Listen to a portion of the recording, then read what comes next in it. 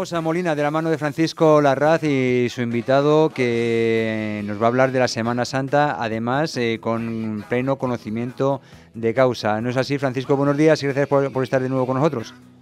Muy buenos días, José Luis. Así es, ya huele incienso, no, tenemos la esperanza de Triana, que, es muy, muy fervor, eh, lo que se tiene, por ejemplo, en Andalucía, pero tenemos otras eh, que también son muy importantes y por eso he traído por supuesto. A, Raúl, el sacerdote que, que, va a ser quien eh, también guíe esta Semana Santa en Molina de Aragón, de una manera también especial, porque al fin y al cabo tenemos lo que es la iglesia de San Gil en plenas obras y hemos tenido que mover, digamos, a todos los santos para que puedan salir esos pasos. Muy buenos días, Raúl, ¿qué tal? Buenos días a todos, muy bien, gracias a Dios, todo bien, preparados ya. Bienvenido Raúl Pérez, eh, párroco de Molina de Aragón y gracias por, acercarse de nuevo, es la mañana de Guadalajara, no nos vimos, eh, no nos vemos desde que estuvimos allí en, eh, su pueblo haciendo el, programa y, siempre es, grato volverle a saludar. Francisco, un placer. Francisco, pues vosotros dos veréis que sois los que los molineses y nos tenéis que contar el por qué hay que ir esta Semana Santa Molina. Bueno, estamos a las puertas de, Jueves Santo, Viernes Santo y ya a posteriori Domingo de Resurrección. Raúl, ¿en qué va a consistir esta Semana Santa en Molina de Aragón con ese Jueves Santo? Bueno, pues el Jueves Santo tendremos, como es tradicional, eh, la misa de la Cena del Señor a las 8 de la tarde y seguidamente este año, en vez de esperar a que acabe la Santa Cena y comenzar ya con el sermón del Nazareno y la procesión, sin embargo, este año, como ya hemos comentado, todas las procesiones cambian de lugar de salida. Subiremos desde la iglesia de San Pedro, que está aquí detrás de mí, a la iglesia de San Felipe, donde ya están todos los pasos preparados para empezar estas salidas procesionales. Este será un poquito el itinerario del Jueves Santo, eh, también con una oración una vez que acabe esta procesión ante el monumento aquí en la iglesia de San Pedro hasta las 11 de la noche. Luego ya nos iremos a los oficios de Viernes Santo, ¿no? Sí, por la mañana del Viernes Santo, bien pronto, a las 8 de la mañana abriremos la iglesia, abriremos todos los templos de la ciudad, menos San Gil, como hemos dicho que está cerrado por obras, para poder rezar y, hacer oración personal. Y luego a las 10 y media de la mañana tenemos un Via Crucis en la iglesia de San Pedro y a las 11 y media cambia este año esta procesión de la subida de la Virgen de la Soledad porque este año la Virgen de la Soledad está desde septiembre fuera de su casa, fuera de su ermita, y está en la iglesia de San Felipe, con lo cual bajará todo el cortejo profesional, llegando desde San Felipe hasta la plaza del ayuntamiento a las 12, como manda la tradición molinesa, el gallo tiene que estar a las 12 de a mediodía en la puerta del ayuntamiento y bajarán hasta la ermita. Allí quedarán los pasos reservados hasta la tarde donde a las 8 de la tarde, el Viernes Santo, tendremos los oficios, santos oficios de la Pasión del Señor, y subiremos con los pasos después por la noche, a las 9 de la noche, de nuevo hacia San Felipe.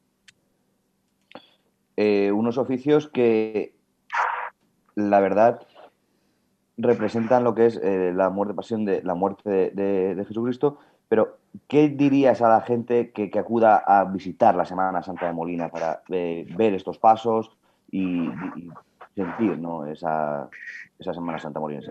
Yo creo que este año la Semana Santa molinesa, quizá como la Semana Santa de todos los lugares después de estos dos años duros eh, de pandemia, de restricciones, pues es disfrutar, es abrirse, abrirse y dejarse sorprender.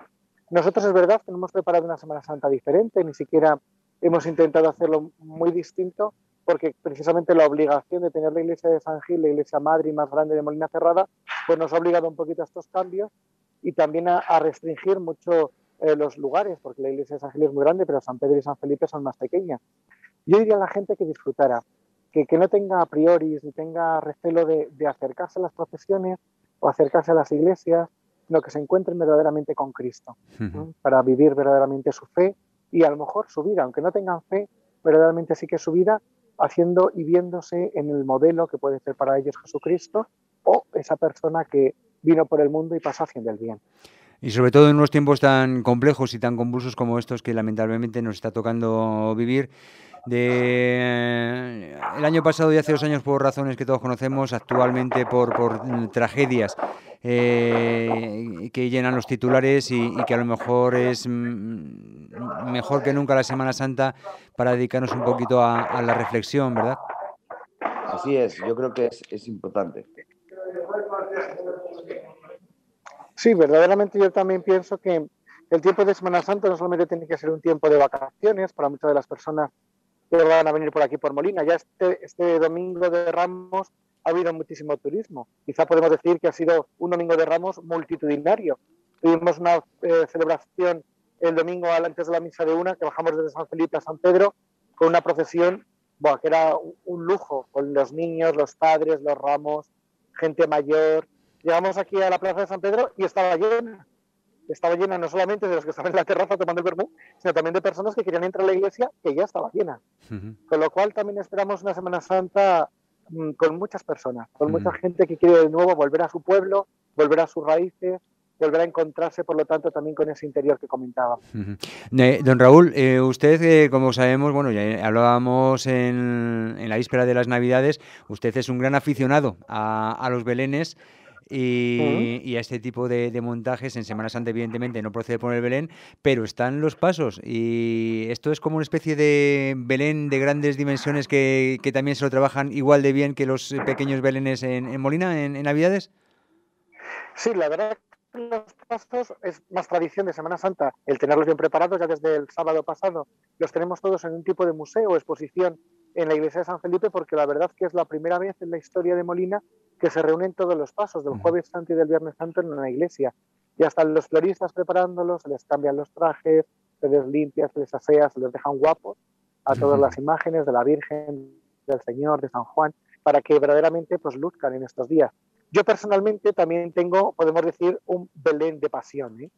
No ah. como tal, pero sí que monto pasos de Semana Santa. Tengo un paso de la Esperanza Macarena de Sevilla, ¿eh? fidedigno, con una altura más o menos de un metro de altura y, y 1,20 de eslora del paso, y lo tengo en mi casa. Dios mediante lo sacaremos a un escaparate de una tienda de Molina hoy, en el día de hoy ya. Mira, lo terminaré. Eh, Francisco, decías que eh, ibas comentando la Esperanza Macarena de Sevilla, pues mira, ya te la tenéis allí, si es que tenéis aquí una joya con Raúl. es que yo iba encaminado. Ah, amigo, ah, amigo, sabíais algo, ay, que me, me habéis hecho la, la 14-15 entre los dos, vale, vale. y Raúl, eh, acaba la Semana Santa con ese domingo de resurrección que también tiene pasos. Sí, ya el viernes, el sábado, perdón, por la noche tendremos la vigilia pascual, el preludio y la misa más importante del año, que es el, la vigilia del domingo de resurrección. El domingo de resurrección a las 12 de mediodía en la Plaza Mayor de Molina, en la Plaza de España, llamada aquí Plaza de España, pues encontrarán el resucitado que vendrá en procesión desde la ermita con la Virgen de los Dolores vestida de luto, donde una vez se cante el aleluya, se le quitará ese luto y se vestirá de blanco. Y después iremos todos juntos a celebrar la Eucaristía la acción de gracias a Dios a la iglesia de San Pedro.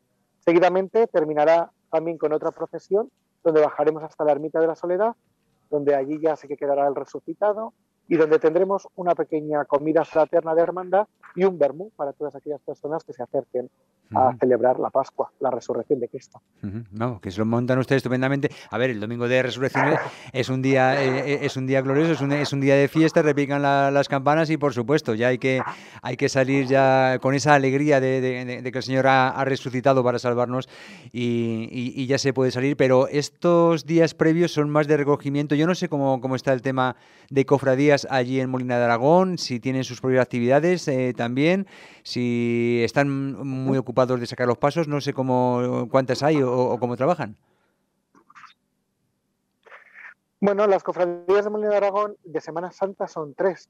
La cofradía de Jesús Nazareno, que tiene su salida el jueves santo, la cofradía de la Virgen de los Dolores, de la Soledad, que tiene su salida el Viernes Santo, y la del Resucitado el Domingo de Pascua.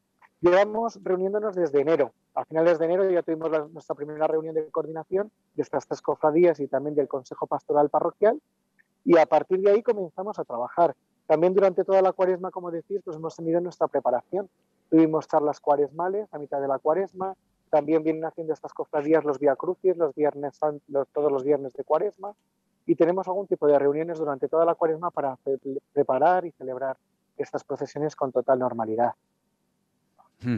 Muy bien. Oye, eh, Francisco, ¿tú eres cofrade o no o tú eres más de ver pasar los, los pasos desde la calle, eso sí, con respeto y devoción, pero no, no sé si eres tú de los que te pones el capirote y, te metes debajo del paso para, para, llevarlo? Yo no, yo de momento no. Sí que es verdad que, en mi familia sí que ha habido eh, grandes eh, personas que han llevado, como dices, José Luis el Capirote, como es mi padre, pero, pero yo no, yo de momento no, porque también es verdad que muchas Semanas Santas las pasábamos fuera por tema de trabajo, entonces eh, cuando uno es hermano tiene que comprometer también a, Jueves Santo o Viernes Santo, dependiendo de la cofradía que sea, pues el poder estar en estas fechas tan señaladas ¿no? para, para la hermandad. Eh, además, es, son, eh, es un factor de cohesión muy importante la Semana Santa y las cofradías, que mucha gente que mm, son hermanos que pertenecen a, estas agrupaciones eh, vuelven para pasar esas vacaciones y, por supuesto, para pasarlas en recogimiento con, sus hermanos cofrades y, ¿por qué no?, para participar en las procesiones. Es, es, también una, es, muy bonito, ¿no?, ese, reencuentro muchas veces, ¿no, ¿no don Raúl? Sí, la verdad que sí. Además, en Molina de Aragón los reencuentros son algo especial. La verdad que teníamos que hacer casi eh, una fiesta del reencuentro. Porque claro, aquí la gente desde Navidad más o menos no, ha venido y ahora reencontrarnos de nuevo en Semana Santa pues va a ser un lujo y una alegría para todos. Ya van viniendo, como hemos dicho antes, muchas familias estos días pues ya nos vamos viendo por las terrazas, por las calles, las compras. Ahora mismo están todas las tiendas con colas y colas de gente para comprar en las carnicerías, pescaderías. Estaba en la floristería ahora mismo y también estaba llena, llenísima de gente de los pueblos. Por lo tanto, también va a ser una Semana Santa del reencuentro, del reencuentro con nuestros antepasados, con nuestra historia y sobre todo también con nuestros amigos y conocidos de ahora. Pues muy bien. Eh, los molineses estaréis encantados, ¿no, Fran? Así es, estamos encantados y con ganas. Yo ya tengo la maleta hecha, porque he tenido que venirme a trabajar un par de días y, mañana llegaré por la mañana para ya disfrutar la Semana Santa y sobre todo eh, estar en esos momentos de recogimiento también en, frente al expuesto y vivir la Semana Santa con, pasión y, y auténtico fervor. Muy bien, pues, eh, pues nada, ya, ya tenemos otro, otro destino de, Semana Santa, desde luego. Eh, aquellos que tengan vínculo con la localidad, con, con, Molina de Aragón, por supuesto, y los que no, los que tengamos curiosidad, pues siempre es muy bonito el, asistir a una procesión de Semana Santa, pero sobre todo en una, ciudad tan señorial como, como Molina, desde luego mucho más. Y con esta preparación que nos ha estado comentando eh, don Raúl Pérez, párroco de, aquella localidad, estoy seguro de que, de que va a ser pues todo un, un espectáculo de estos que de estos que quedan ahí eh, grabados a fuego, ¿no es así? Sí, así será. Será un, un espectáculo, yo creo que la Semana Santa Bolinesa, y, y, con eso termino haciendo un resumen, es una Semana Santa como es Molina, entre Aragón y Castilla. Muy bien. Tiene lo bueno de lo castellano y lo bueno de lo aragonés. Pues eh, como tantas otras cosas, eh, eso de este, ¿ves? Eso de ser tierra, tierra de frontera también tiene sus ventajas. Muchísimas gracias, don Raúl, y, y, seguimos hablando, ¿de acuerdo? Muy bien, muchas gracias. Muchas gracias. Un abrazo. Feliz Semana Santa. Igualmente. Bueno, Francisco, eh, tú y yo seguimos eh, con nuestra sección porque me parece que tenemos también algún que otro suceso que, comentar, ¿no? Así es, tenemos un suceso que, ocurrió hace apenas dos días eh, en Molina de Aragón. No lo sufríamos como sí que lo sufren algunas otras localidades de Guadalajara. es la visita de esa gente de lo ajeno, ¿no? que se ocupa de, de, digamos, de invadir tus, tus propiedades, como pueden ser tus casas, y esos son los llamados comúnmente o como ocupas.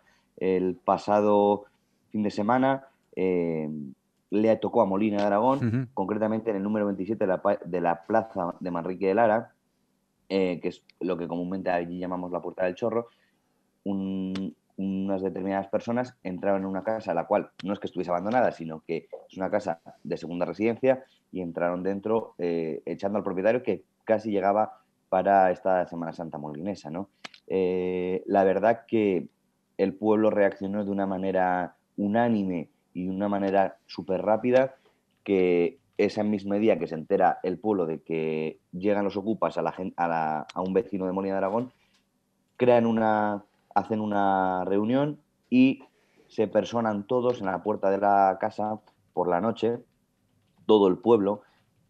Claro que eh, esto hace intervenir a la Guardia Civil y lo que hace también es echar a todo y cada uno de estos ocupas de la casa. Así que el final fue victorioso para el propietario porque no tuvo que ir a mayores, sino que por toda la gente del pueblo que se acudió allí a la puerta de su casa, echaron a sus ocupas y pudo entrar en la suya.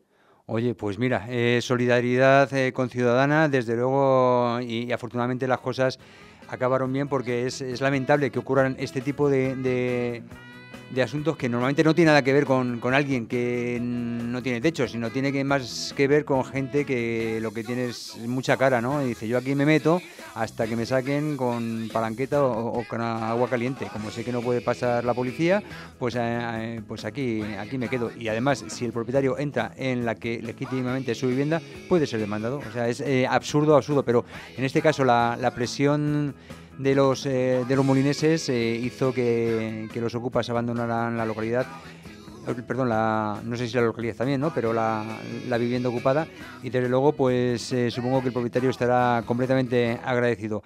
Fran, no sé si hay algo más, pero no tenemos mucho más tiempo. Aquí nos quedamos, José Luis. Aquí nos quedamos. Para la próxima semana. Y nada, un placer, disfrutar de la Semana Santa y esperamos vernos a la vuelta. Pues igualmente, felices Pascuas, Fran, y hasta la próxima semana. Hasta la próxima semana.